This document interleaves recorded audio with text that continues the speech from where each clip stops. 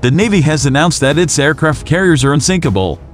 We can believe them. They spend days trying to sink one themselves as a test. Here's what you need to know. To even try to sink an American flattop, you first must hit it. That's not easy either. No carrier sails without an air wing with as many as 50 fighter aircraft plus several escorting destroyers, cruisers, and submarines. A virtual wall of defensive weaponry surrounds the flattop to a distance of several hundred miles.